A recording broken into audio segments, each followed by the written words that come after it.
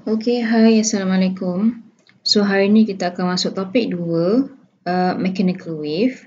Dan sebelum kita cerita mengenai um, mechanical wave ini, jom tengok satu video daripada YouTube. So ini awak kena dengar betul-betul sebab um, uh, dia cakap English cep agak cepat. So kita sama-sama lah eh dengar mengenai mechanical wave. This is a typical wave, and waves form whenever there's a disturbance of some kind. Often, when something about the physical world changes, the information about that disturbance gradually moves outwards, away from the source in every direction. And as the information travels, it makes a wave shape. Think about the disturbance you cause, for example, when you jump on a trampoline. When you hit the trampoline, the downward push that you create moves the material next to it down a little bit too. And the same goes for the material next to that, and so on. And while that information is travelling outward, the spot where your feet first hit the trampoline is already recovering, moving upward again because of the tension force in the trampoline. And that moves the area next to it upward too. This up and down motion gradually ripples outward, covering more and more of the trampoline. And the ripples take the shape of a wave. Waves are made up of peaks with crests, the bumps on the top, and troughs, the bumps on the bottom. They have an amplitude, which is the distance from the peaks to the middle of the wave. They also have a wavelength, which is the distance between crests, a full cycle of the wave and a frequency, which is how many of those cycles pass through a given point every second. Multiply the wavelength by the frequency and you get the wave speed, how fast it's going. And the wave speed only depends on the medium it's travelling through. That's why the speed of sound, which is a wave, doesn't depend on the sound itself. It doesn't matter how loud or quiet it is, it just depends on whether the sound is travelling through, say, air or water. Now, there are four main kinds of waves, and we can use our rope to show the difference between some of them. A pulse wave is what happens when you move the end of the rope back and forth just one time. One lonely crest travels through the rope. That's the pulse. Then there's the continuous wave, which is what happens when you keep moving the rope back and forth. In that case, your hand is acting as an oscillator.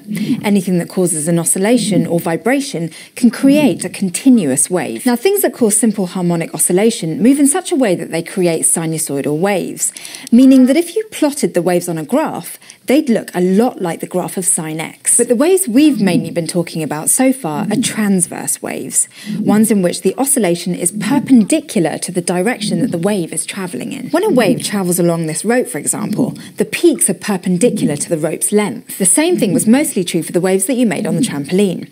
The waves were travelling along its surface horizontally, but the peaks were vertical. But there's also longitudinal waves, where the oscillations happen in the same direction as the wave is moving. In the case of a longitudinal wave, the back and forth motion is more of a compression and expansion. These are the kinds of waves that you get by compressing and stretching a spring, and they're also the kinds by which sound travels, which we'll talk about more next time. But all waves, no matter what kind they are, have something in common.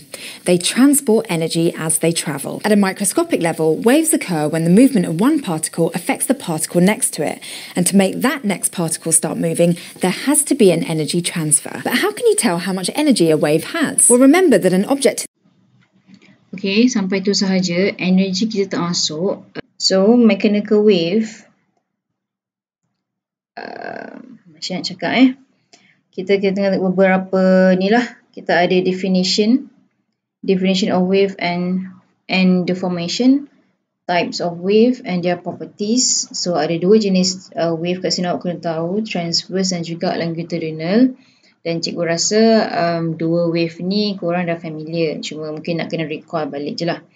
Kemudian definition of amplitude, frequency, period, wavelength dan juga wave number. Ini pun um, kita dah tengok banyak pada uh, topik satu, simple harmonic motion. Dan ada satu, dua, tiga yang keempat, awak perlu tahu dia punya progressive wave punya equation. Kita guna terms y pula, y equals to a sin omega t plus minus kx. Dan speed of wave v sama dengan lambda frequency. Okay, um, let's take a look at the meaning of mechanical wave. Is defined as a disturbance through a medium in which energy is transferred. So dia adalah gangguan. Kenapa through a medium? Sebab um, mechanical wave dia tak ada dalam keadaan yang vacuum. So medium ni tak kisahlah udara ke, uh, air ke ataupun apa air udara lah kan. Biasanya kan air dan juga water lah. And um, detail lagi sikit the particles the particles dalam um, the particles yang yang menyebabkan ya part, macam cakap eh? The particles oscillate around their equilibrium position but do not travel. So bila wave ni bila wave tu bergerak contoh um, contoh yang tadi dia buat tadi tali tu tali yang bergerak tu yang ada pulse ke ada dia punya wave tu. So dia dalam tu dia sebenarnya ada partikel-partikel tu yang bergerak. Tapi partikel oh sorry partikel tu oscillate. Uh, oscillate ataupun uh, kita kata dia vibrates lah. Dia dekat tempat dia je. Tapi uh, pergerakan partikel-partikel yang banyak tu menyebabkan um, satu menyebabkan wujudnya satu pergerakan wave lah uh, gelombang So example of mechanical wave uh, seperti water wave. Water wave ni macam ombak ataupun um, uh, ombak bolehlah ataupun awak campak batu dekat dalam air kan. Sound wave, wave on the string, rope, wave in the spring and uh, earthquakes. Okay. Types of wave. Um, so ada dua, transverse dan juga longitudinal.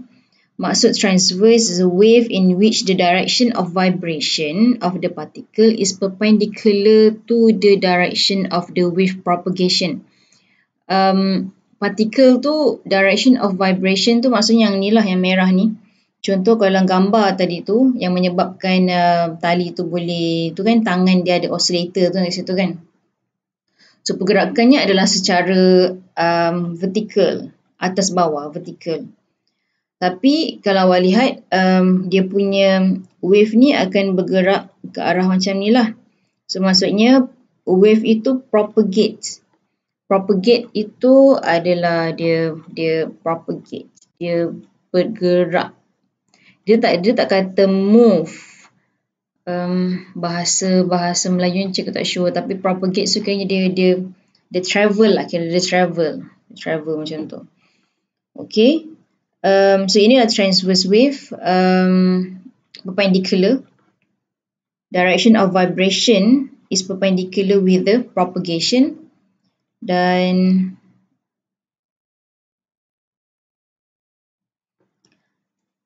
contohnya transverse wave are water wave, wave on the string, um, electromagnetic wave dan juga etc.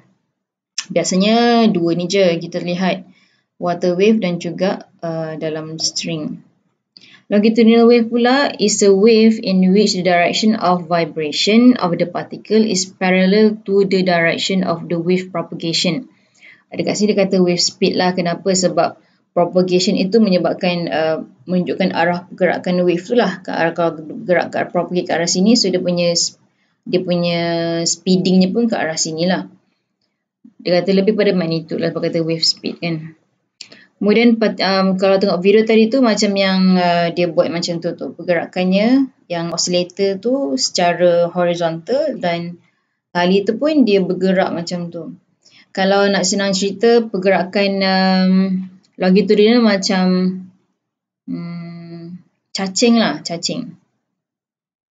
Cacing bergerak. Dia ada compress, the compress pun dia stretch. The compress, the stretch. The compress, the stretch. So dia punya vibration itu adalah secara uh, horizontal dan pergerakannya pun bergerak pada horizontal. Kalau long uh, transverse transverse macam apa eh? Hmm, macam pergerakan ular, transverse macam ular. Dia bergerak macam tu kan, dia bergerak macam tu. So kalau tengok dari segi atas daripada top view, so badan dia uh, pergerakannya tu crash dengan trough tu uh, secara vertikal lah kalau top view. Tapi ular tu bergerak ke hadapan. So tu contoh untuk transverse. Dan longitudinal macam pergerakan cacing lah. Okay, so ini uh, explanation tadi. Um, dan nak tunjuk apa ni? Uh, dia nak tunjuk pergerakan dekat mana dia punya crash dan dia punya uh, oh sorry dia punya compression dan juga rarefaction rarefaction tu dia punya macam pengembangan lah compression tu dia dia compress lah kan Okay, um, tadi pun dah explain tadi pergerakan itu akan akan menjadi satu bentuk sinusoidal. Kenapa dia kata sinusoidal? Sebab kalau tengok macam katakan bentuk graf, dia seperti graf sine lah. Sebab itu. Okay, now kita go to go through um, definition untuk wavelength is defined as a distance between two consecutive particles point which have the same phase in a wave. Um, contoh figure B. Mana figure B? Tadi kan? Eh? sorry, figure 2.5. So dekat sini yang ada same phase dekat sini adalah antara point. Um, dekat sini yang simple B. Uh, kita tukar. B dan juga C. So ini kita kata same phase tu. Dia ada fasa yang sama.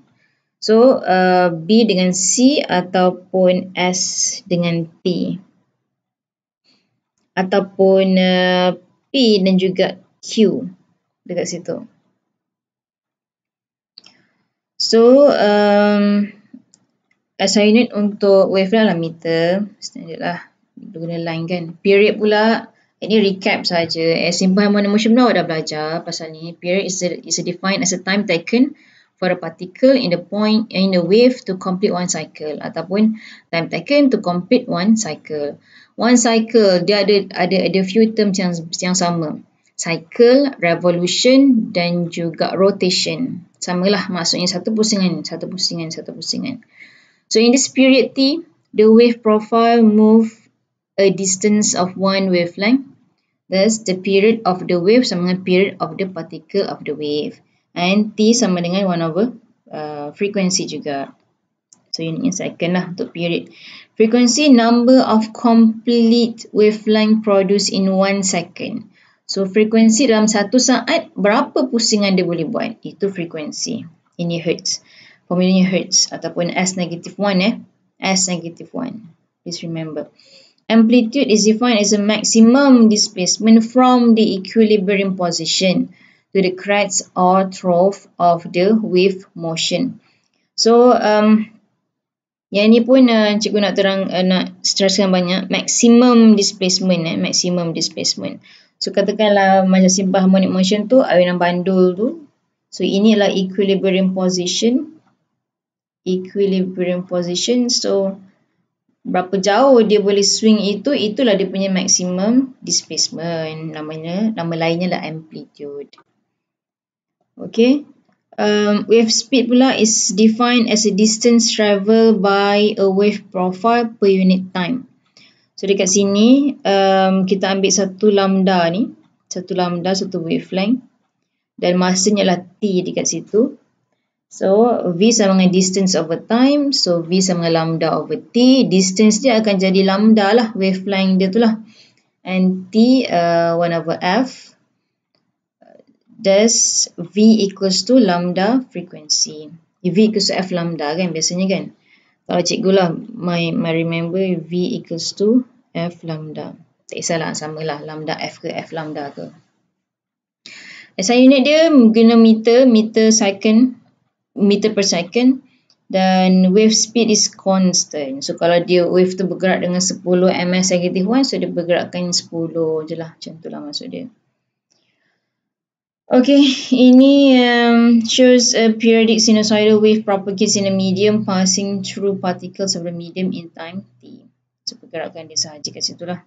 Uh, yeah, dan dekat sini kita guna uh, y untuk displacement dan juga x adalah distance. Berbeza dia. So dalam uh, mechanical wave, uh, displacement ini lebih kepada um, partikel itu yang oscillate. Partikel itu. Contoh, um, contoh, contoh, contohlah partikel, partikel dekat sini, partikel P. Alah, macam cakap eh. Um, contoh kat sini, P ni, P ni partikel lah kiranya. P ni partikel. So dia dia oscillate ke atas dan ke bawah. So pergerakan uh, oscillation itu uh, displacement in terms of displacement. Dia bergerak atas bawah atas bawah tu lah dia punya displacement for particle. Tapi X ni distance ini uh, distance wave itu travel. Um, nanti kalau ada video yang tunjuk detail mengenai pergerakan partikel dalam dalam tu nanti cikgu share. Eh. Tadi tak jumpa lah pula. Uh, tak teringat bukan tak jumpa tak teringat nak cari. Ataupun uh, kalau kalau dalam kelas biasanya cikgu buat uh, pernah korang pernah tengok tak um, apa lagi Mexican wave eh dekat stadium ramai-ramai orang tu kan dia orang macam dapat kata gol dan apa yang dia buat dia buat Mexican wave eh Mexican wave ke apa lah. So um, penonton tu dia tak bang, dia tak bergerak pun dia tak propagate pun dia tak propagate. Dia bergerak tapi secara vertikal atas bawah. Uh, dia bergerak secara vibration vibration vertically So katakan dia bangun ke ataupun dia angkat tangan je ke. So dia macam okay katakan line sini semua. Okay line uh, semua angkat tangan. Then dia angkat turun sebelah pula angkat turun angkat turun kan. So apa yang awak nampak nanti akan nampak satu bentuk wave kan. Formation of wave. Kenapa? Sebab partikel itu dia vibrate. So banyak partikel dia vibrate even dia tak propagate partikel itu. Partikel itu vibrate at its own place sahaja secara vertikal um, atas bawah atas bawah. Tapi bila banyak partikel yang vi yang vibrate, uh, dia akan nampak satu bentuk wave. So wave itu propagate tu awak nampak dia punya gelombang tu lah. So, itu wave. So x itu um, x itu untuk distance untuk wave lah eh. Wave itu yang propagate. Kalau y ni displacement for the particle dalam wave itu yang vibrate atas bawah. Okay, itu conclusionnya. eh. Okay, displacement Y uh, is distance a distance moved by a particle from its equilibrium position at every point along a wave. So, ni yang tadi cikgu cakap tu lah. Dah ada wave number. For this, ada satu pertambahan. Wave number K K equals to 2 pi over lambda. Ini dia punya definition dia. Dia tak ada dia tak ada sebarang ayat untuk define dia lah. Dia define as 2, 2 pi over lambda. So since 2 pi tak ada unit uh, dan lambda adalah uh, dia punya wavelength, unit adalah meter. So K So K unitnya adalah meter per second meter per second. Meter negative 1. 1 over m.